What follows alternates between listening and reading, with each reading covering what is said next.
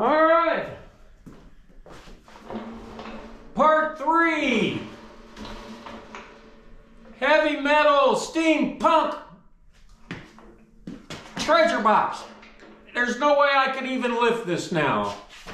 Well, I'm not going to risk it. Let's put it that way. So let's get things fired up and fabricate some kind of a lid for it. Get the diesel heater going. And I'm going to go out to the shipping container and see what scraps I can find.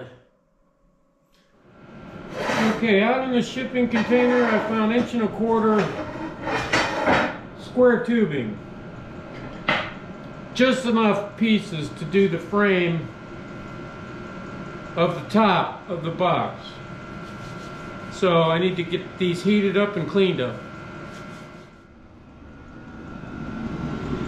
And away we go.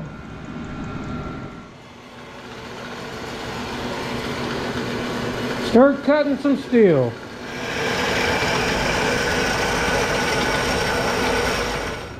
Okay, we got all four top pieces cut. Now I'm just doing a fit test.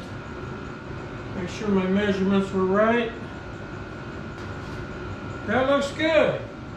Now I'm going to deburr the ends on this.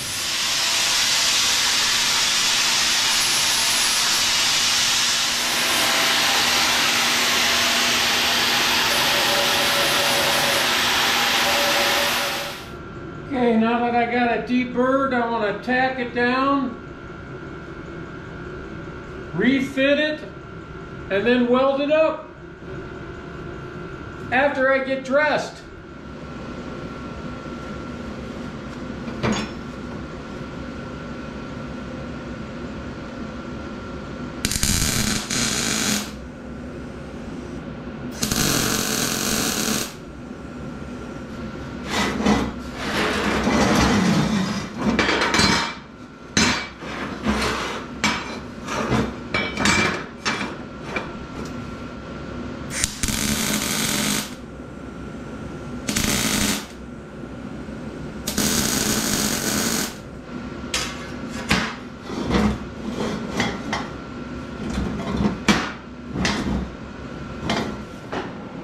Got it tacked down.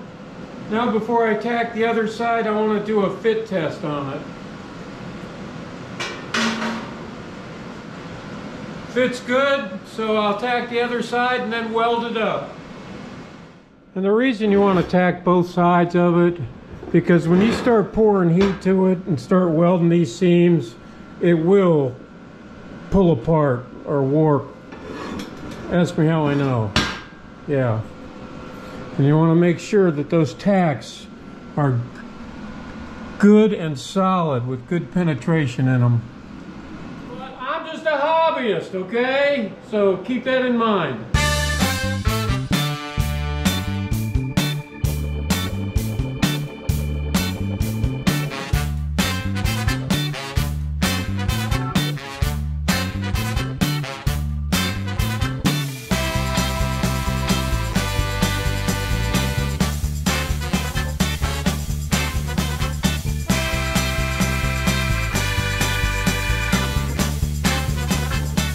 I'm going to grind these welds smooth so that uh, because it's the top and it'll lay flat and that's what I need to do.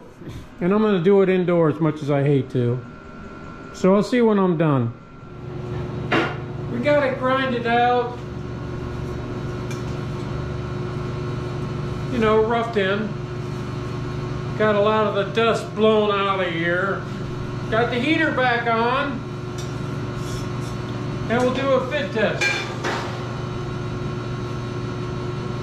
The reason I'm using, using this inch and a half square tubing is because it's all I got.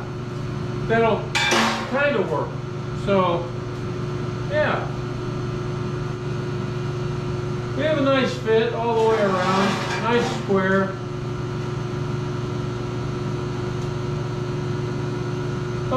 Now we're going to figure out what we're going to do with the rest of it. Now I'm going to cut this leftover piece of diamond plate. I'm going to piece it in.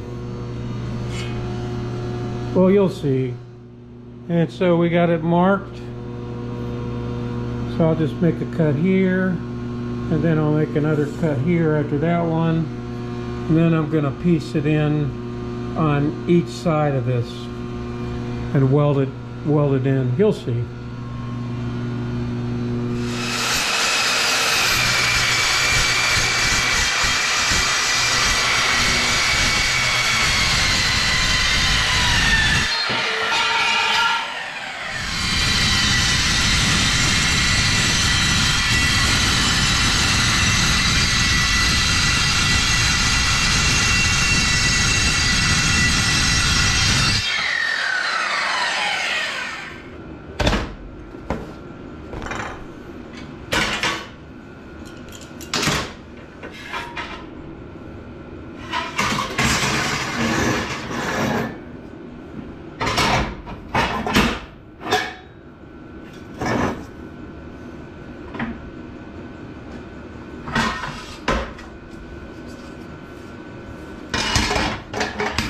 See, I fit uh, one side over on the right, one side over on the left.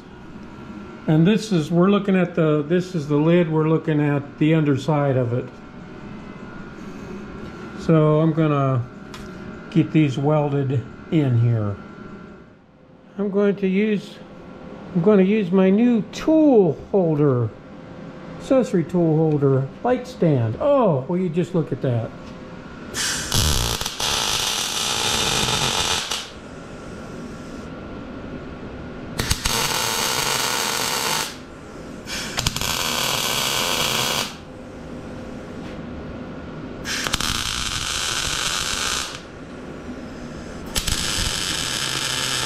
See how it looks. I like how it looks. So now I'm going to weld it in.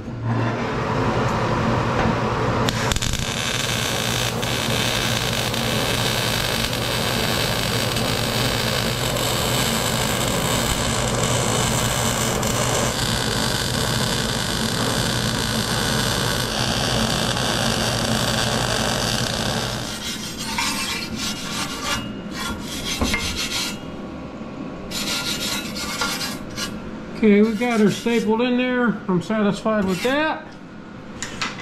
Now what? Oh, I'll show you. We got this nice last piece of wicked looking steel. We're gonna cut it, put it in there. Yeah, buddy. So the last time I cut this steel, for the box itself, it was slow and hard going with that little DeWalt four and a half inch.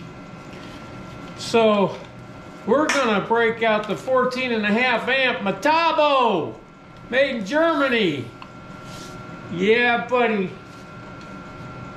It'll be awesome.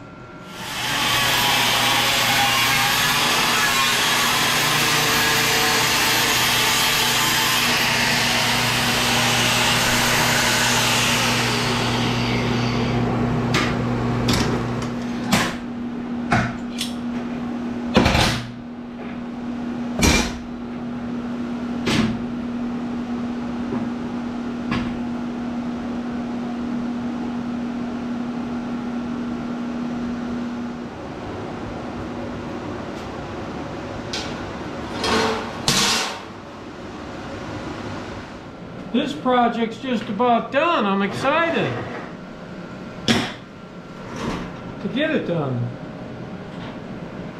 Although I did enjoy doing it.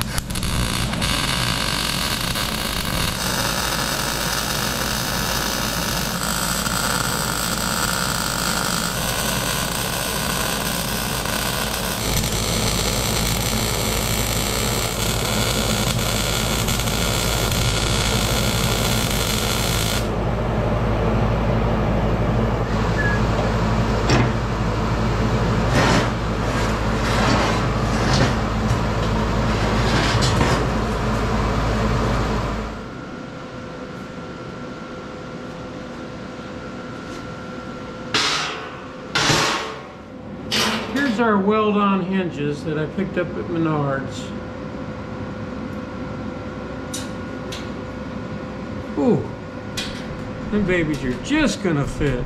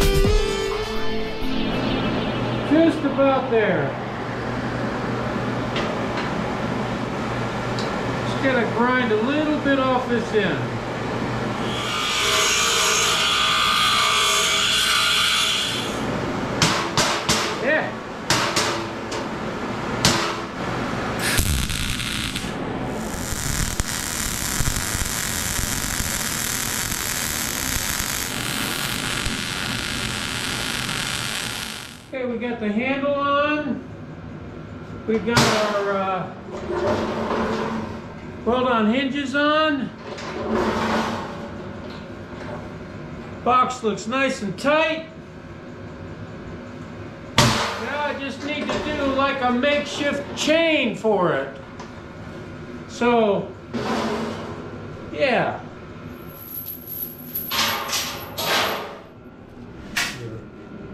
Yeah, that, that matches better.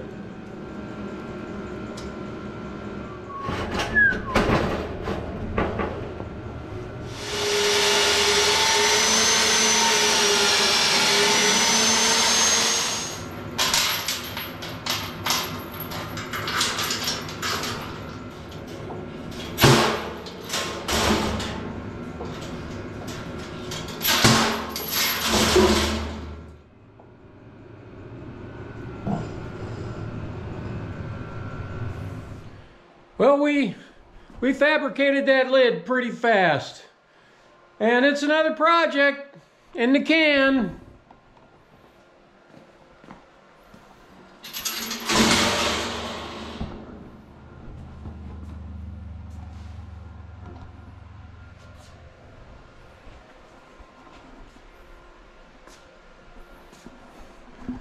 And it is gonna be very sturdy and I can put my stuff in there like this. And I can just put my stuff in there like that, not worry about it. Look at that.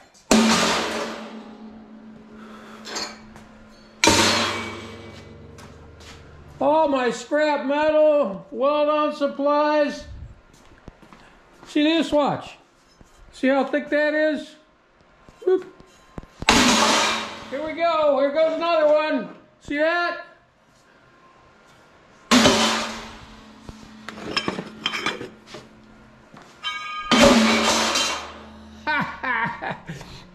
I, I don't know why that that just gives me joy. So there it is, guys.